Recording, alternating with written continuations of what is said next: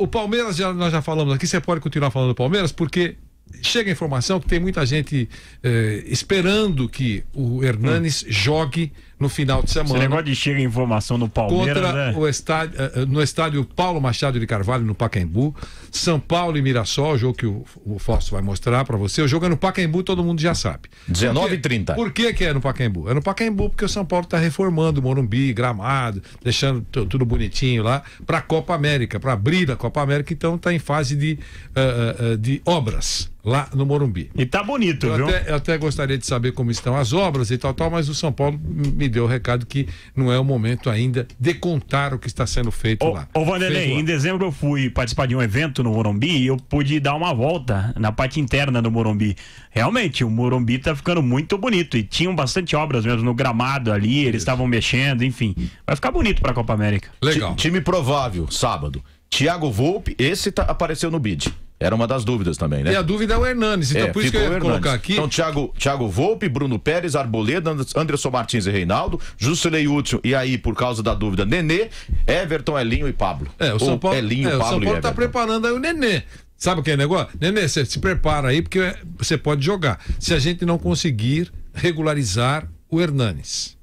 Eu acho que vão conseguir. Então, eu acho que pode tem ainda alguns, algumas horas pela frente, é possível, mas como não é certeza. Isso depende do São Paulo, é, né? É, isso depende aí. de vir da China. É, mas, mas, essa demora é porque o cara tem que pegar lá e vir a pé para trazer o documento para cá. Tem um como é trâmite, que é isso? Né, Zé? Tem um Ou tem que pagar primeiro pro cara mandar o. Isso aí tá me cheirando, de repente, é, poucas horas antes de, de, de acabar o, o momento da inscrição no, no BID, né? Na federação, surgiu o nome do Hernanes lá, hein? Não, Na sexta-feira, né? Pode ser, pode ser que isso aconteça. Mas charme? Como, não sei se é charme, mas de qualquer maneira, é, é, o São Paulo está preparando o Nenê aí.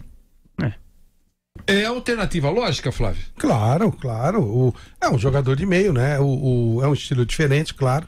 O Hernandes tem mais chegada, bate melhor de fora da área, o Nenê toca mais, é, faz mais a distribuição de jogo, mas é o normal, é o natural. São Paulo fica bem servido aí nessa posição, são boas opções. Botar os dois é mais complicado, mas um ou outro, na boa. São Paulo vai estar sempre bem servido. Diga, Zé. Então, é, olhando aqui na, na, na, formação do, do São Paulo, é, tanto com Hernanes quanto com Nenê, falta aquela agilidade, mas ela é compensada pelas presenças do Elinho e do Everton, né? O Everton voltando, é jogador de velocidade, o Elinho a mesma coisa, fechou bem o ano, encerrou bem a temporada como uma, né, como uma aposta legal que o São Paulo teve no, no final do ano, e aí o, o Nenê pode funcionar bem ali, o Pablo também é um jogador que se movimenta muito, não é aquele centroavante de, de que fica só na área, não, ele joga pelo, sai para jogar pelas laterais, sai para compor ali pelo meio também, então essa movimentação, até troca de posições, o Nenê pode funcionar legal, o Hernandes vem para ser titular até até pela liderança, pela postura que ele tem, né? Aquele jogador ganhador, que vem para ganhar, que vem para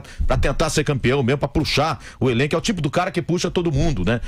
Para cima, ajuda muito. Mas o Nenê, ele vai ser utilizado e muito. O campeonato tem muita bola rolando no ano, tem muito campeonato, enfim. E o Nenê será utilíssimo também, né? Não dá para jogar todas, não. Ninguém, nenhum jogador aqui vai poder jogar todas, não.